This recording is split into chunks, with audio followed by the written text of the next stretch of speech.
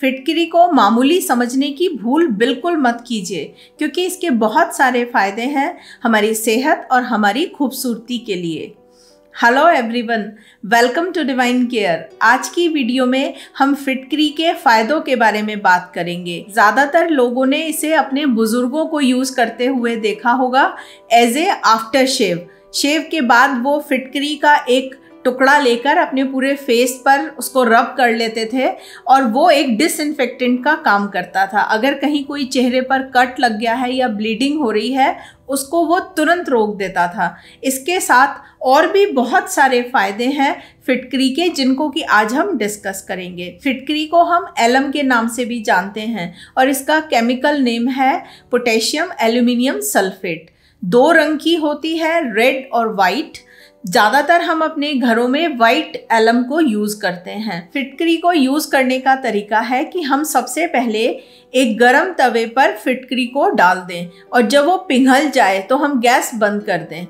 उसके बाद हम इसे ठंडा होने दें, ये वापस से क्रिस्टलाइज हो जाएगी। और इसको अब हम पाउडर करके एक बॉटल में भर के रख सकते हैं। ये फिटकरी हम यूज़ करेंगे तो हमें ज़्यादा बेनिफिट्स मिलेंगे। अब हम डिस्कस करेंगे कि फिटकरी को हम किस किस प्रॉब्लम में कैसे यूज़ कर सकते हैं। तो सबसे पहला यूज़ है कि हम फिटकरी को माउथ वॉश की तरह यूज़ कर सकते हैं। माउथ वॉश बनाने के लिए हमें एक बॉटल में पानी लेना है और उसमें एक चम्मच फिटकरी पाउडर को मिला दें। जब उसका एक सोल्यूशन बन जाए तो हमारा ये माउथ वॉश बनकर तैयार हो गया है।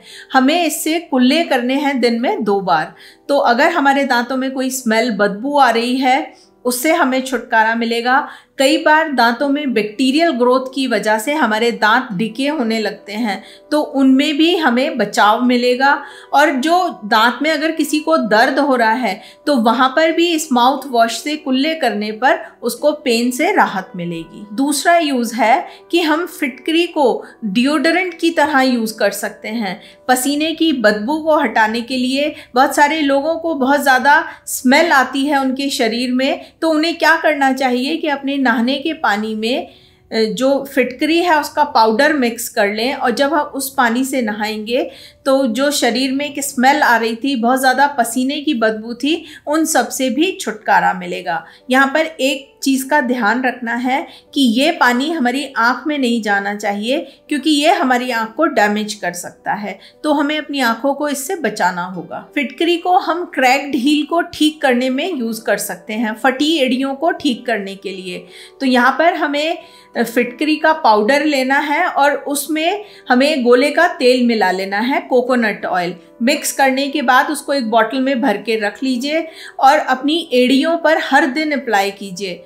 थोड़े दिन यूज़ करने के बाद जो हमारी एड़ियाँ हैं, जो वहाँ पर डेड सेल्स इकट्ठी हो गई थी या वो बहुत ज़्यादा फट गई थी, वो हील होनी शुरू हो जाएगी और हमारी हील्स एकदम सॉफ्ट और मुलायम बनेंगी। नेक्स्ट यूज़ है कि अगर किसी को यूरिन इन्फेक्शन हो गया है फीमेल्स में वजाइनल इचिंग की प्रॉब्लम या ल्यूकोरिया की प्रॉब्लम तो वहाँ पर हम फिटकरी को यूज़ कर सकते हैं। फिटकरी के पानी से जब प्राइवेट पार्ट्स को वॉश किया जाता है तो वहाँ की हाइजीन मेंटेन होती है और इन सभी चीज़ों को जो मैंने आपसे डिस्कस किया, वो सारी प्रॉब्लम्स में भी बहुत अच्छा रिलीफ मिलता है। नेक्स्ट यूज़ है कि कहीं चोट लग जाए, कोई घाव है या बहुत ज़्यादा ब्लीडिंग हो रही है, वहाँ पर भी हम फिटकरी को यूज़ कर सकते हैं। तो आप फिटकरी का जो पाउडर है, उसको भी डायरेक्ट अप्लाई कर सकते हैं उस एरिया पर या फिर पानी में मिक्स करके उस पानी से जब हम घाव को या चोट को धोएँगे या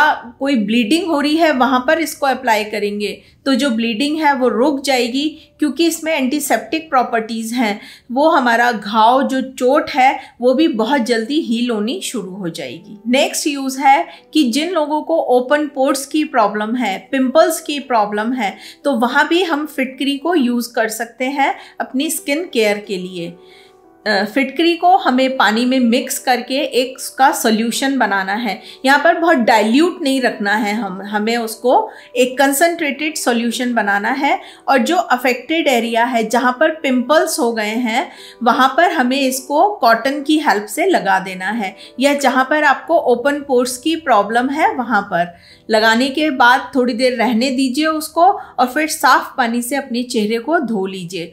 तो जो ओपन पोर्स हैं, वो धीरे धीरे श्रिंक होने शुरू हो जाएँगे। क्योंकि फिटकरी में एस्ट्रेंजेंट प्रॉपर्टीज़ होती हैं। एस्ट्रेंजेंट प्रॉपर्टीज़ वो उसका काम होता है कि वो एरिया को श्रिंक करता है। श्रिंक करने से जो पोर्स हैं, वो टाइट होने शुरू हो जाएँगे। तो पिंपल्स की प्रॉब्लम भी दूर होगी और जिन लोगों के ओपन पोर्स की प्रॉब्लम है, वो भी दूर होगी। यहाँ पर एक चीज़ का हमें ध्यान रखना है कि हमें इसको बहुत ज़्यादा यूज़ नहीं करना है, क्योंकि कई बार स्किन काली होनी शुरू हो जाती है। फिटकरी का यूज़ हम एक्जिमा और इचिंग के लिए भी कर सकते हैं। अगर स्किन पर बहुत ज़्यादा खुजली आ रही है या एक्जिमा की प्रॉब्लम हो गई है। तो वहाँ पर भी हम फिटकरी का पानी बनाकर उसको कॉटन डिप करके और उसको अप्लाई करेंगे अफेक्टेड एरिया पर तो हमें खुजली से और एक्जिमा की प्रॉब्लम में भी धीरे धीरे रिलीफ मिलना शुरू होगा। हम फिटकरी को यूज़ कर सकते हैं, सिर में जुएँ अगर किसी के हो गई हैं लीस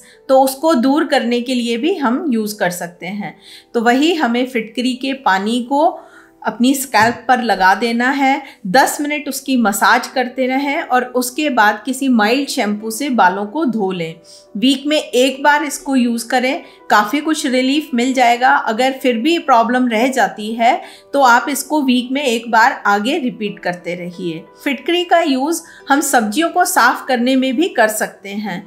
फिटकरी का पानी हमें बनाना होगा और उसमें सब्ज़ी को डुबो कर रख दें करीबन पाँच से दस मिनट।